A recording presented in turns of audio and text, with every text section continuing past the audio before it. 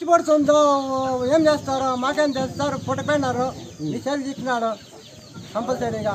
లేదా ఎవరైనా దమ్ము ఉండేవాడు డబ్బు ఉండేవాడు పోయి బేల్ మీద పోయి ఇడిపించుకొచ్చుకోండి ఇడిపించుకొచ్చుకోండి లేకుంటే ఆడపడి నీ ఎట్లా శిక్ష పడాలనుకుంటాడో ఏమో మీ మీ అభిప్రాయం ఏముందో? శిక్ష అంటే శిక్ష. సబ్ జైల్లో కలిసి సబ్ జైల్లో పడి ఉండాల్సింది శిక్ష. అది అనుభవించాల్సిందే మనాది లేదు. అనుభవించాల్సిందే కదా సార్? నేను కానీ నేను నువ్వు ఎవరు తప్పు చేసినా అనుభవించాల్సిందే కదా తప్పు తప్పే కదా